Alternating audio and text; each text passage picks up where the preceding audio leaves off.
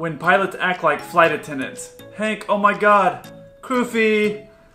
This is mean, but it's pretty realistic. Lately, I've been commenting a lot more on Instagram, and since then, people have started sending me aviation memes. So I thought, why not share them with the 7-4 crew? So, aviation memes. Coming up.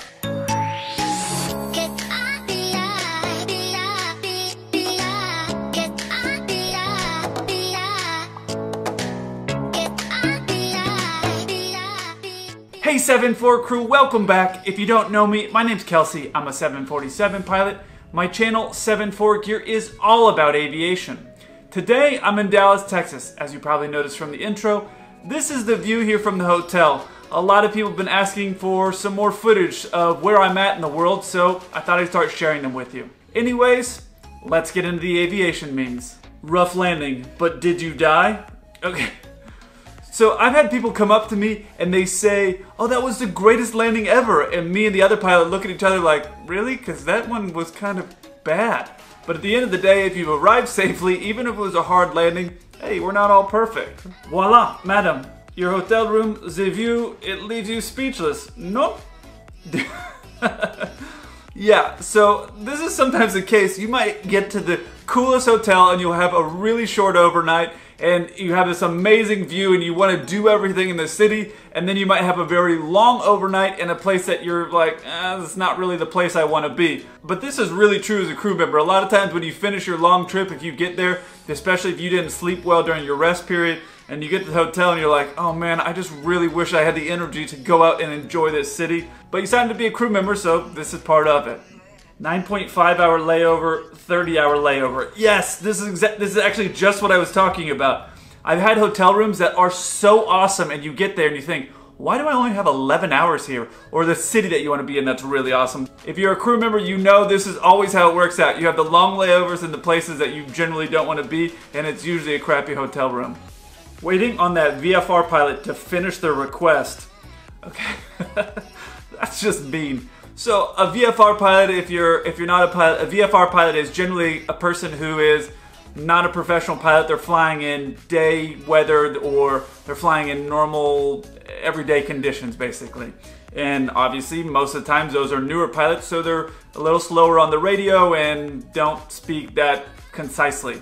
So basically, what they're saying here is airline pilots are listening to these guys make radio calls and we're just so frustrated. And when I was a new pilot, I always thought airline pilots are listening to me going, dude, hurry up. Anyway, for the most part, airline pilots know that we were there too, so don't worry about it. Make the radio call that you need to make. And if you can do things to improve, I got a bunch of videos talking about how to make radio communications. Premature evacuation.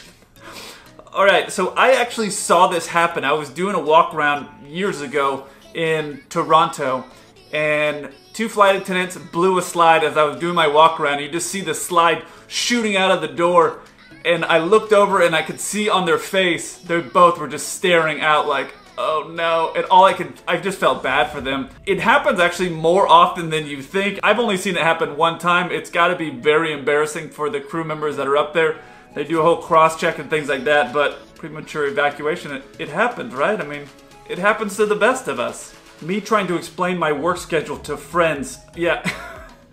this or it actually would be better if it said me trying to explain how to bid to a new crew member because it is so complex and so diverse of okay, if you want this, you need this, and there's all these different types of bidding systems, but this is so true. If you're explaining how to bid for someone, I think that would be a better explanation for this. Trying to explain how to bid to a new person, and I used to do that especially when I was at the regionals, new flight attendants would come and I would tell them, hey, this is what you need to bid. And a lot of times I would just take their phone and I would just start bidding for them. What do you want? Okay, this is how you're gonna bid this, and I would kind of teach them as I go.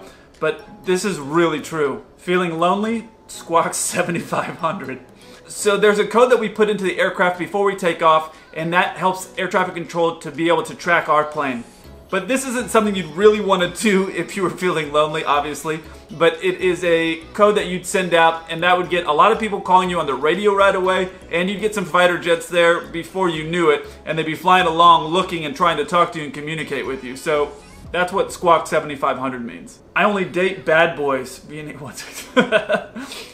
So basically, what what they're saying is you're basically breaking the rules. So it's the max speed that the aircraft can go. You can see it by that red line at 160 knots, and he's doing uh, 165, or maybe this is miles per hour, because, oh no, it's knots, yeah. So he's supposed to be doing at the max 160 knots, and he's going past that. Uh, I don't know anybody that's flying a Cessna that fast. A lot of these engines on these smaller aircraft now don't have the same power that they once had when they first made them. But if you want a bad boy, then you want this guy. When ATC says stand by for full route clearance. yes, so a full route clearance is basically like when you file a flight plan and you're saying you're going from LA to Miami, they put you on a bunch of different routes all the way there, different roads in the sky, if you will. And that is something that the airline will file for us. What this is basically saying is air traffic control, ATC, is basically giving you a whole new route, which means you have to write it down by hand and then reload it into your computer. And it's super annoying. Now, my next question is why did this guy put headphones on a baby and then the baby's crying and he's still leaving them on there? But how I feel after a perfect landing. Yes, even today, every time I think of pilot, no matter if you're brand new or you have five or 7,000 hours, it's always going to be the case. I think no matter how long you're going to be flying because we all know that's what we're judged on. So after a perfect landing, I always feel like this. Female crew visiting cockpit, male crew visiting cockpit. Uh, yeah, this is probably true. A lot of times when we're up there, especially again when I was flying passengers a lot more, we'd have jump seaters, people that are just catching a ride. And you would hear a female's voice, and both both pilots, especially if you have another guy, we would both turn around. If you hear a guy's voice as he coming up, like, "Hey guys," everyone's, like, "Oh yeah, hey, what's up, man?" It's uh, I don't know, we're dudes, we're stuck in a box. I, I don't know what to tell you, but uh, this is pretty true. Sleeps with a pilot, finds out he was only the first officer. This is just mean, okay? We all have to start somewhere. So, first officer, you got three bars. A captain, you have four bars. Obviously, if you're a first officer, you're getting paid a lot less than a captain.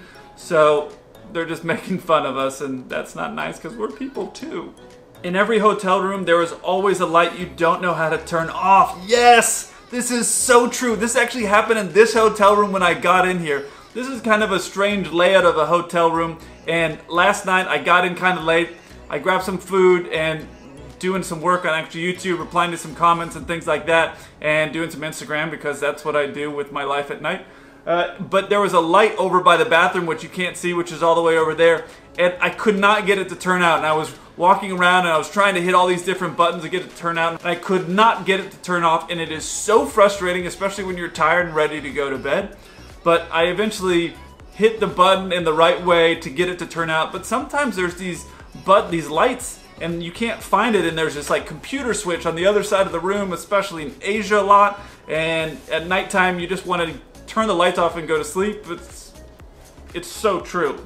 Every now and again there's a hotel room and there's a light over here that I could not get to turn on. I, I don't know. So these hotel rooms you just never know when you land at base and crew scheduling tries to call you. I don't know if you've ever seen this movie, it's actually really funny, but basically what this means is some in some places when you land in your base, crew scheduling and you're finishing your trip, crew scheduling can call you and try to send you back out or extend your trip. That's not the case in every airline, it's just different rules, but in a lot of cases if you get back to base and they try to send you back out, you're running away from them trying to avoid getting sent back out because you just want to go home and finish your trip. But this is true. I know people who they would have a person from crew scheduling that had to physically contact you and they would wait outside your gate. I know a pilot who would in the bathroom of this of our regional jet change his uniform shirt and then walk out like he was a passenger and then just pretend to be on his phone or something like that so the scheduler weren't really sure and then he would try to get away and they only had like 10 minutes to get you or something so after 10 minutes it was too late and then you could go home what really happens during takeoff Woo! now, if you're a pilot, you know this isn't the case, but I imagine if you're a passenger in the back, you must be wondering sometimes what we're doing up there.